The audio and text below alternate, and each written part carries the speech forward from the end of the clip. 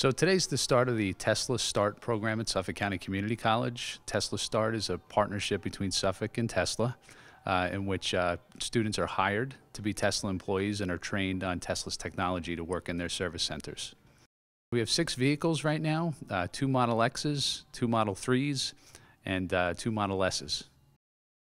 Students can go uh, work in the service facilities throughout Tesla's worldwide network. Uh, some of that's in the New York metropolitan area. Some of those jobs can also be out of state.